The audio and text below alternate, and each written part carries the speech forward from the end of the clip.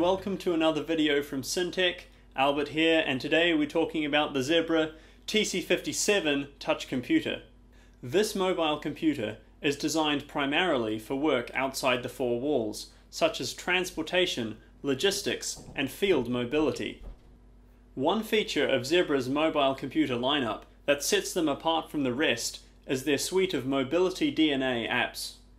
These include Worry-Free Wi-Fi, Power Precision Console, Lifeguard Analytics, and Stage Now. These apps improve the performance and increase the capabilities of their mobile computers, such as the TC57. The TC57 runs on Android 8.1, meaning it's very up to date. This device is also Android Enterprise Recommended, a certification that guarantees that it meets Google's standards for the enterprise environment. Some of the requirements of Android Enterprise Recommended include operating system updates, security updates, ruggedness, and minimum hardware specifications. The TC57 has a 5-inch HD screen, which has high visibility in sunlight and can also be used with gloves.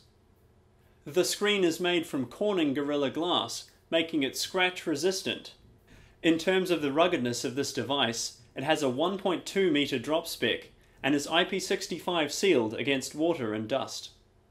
In terms of scanning, the TC57 has a 2D imager with omnidirectional scanning, so you can scan at any angle.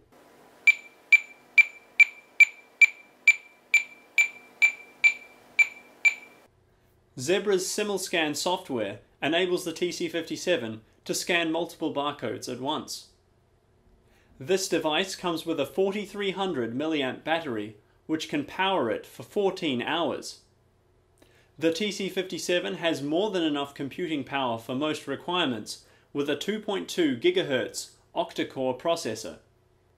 This device also has improved audio quality with three microphones, high volume speakers, and noise cancelling technology included. It is equipped for taking photographs or video conferencing with a 13 megapixel rear camera and 5 megapixel front facing camera. This device has all the connectivity options you need with Bluetooth, Wi-Fi, NFC and 4G LTE. With all of these features included, it still weighs only 249 grams. We hope you enjoyed this video. If you did, be sure to like and subscribe, and we'll see you in the next one.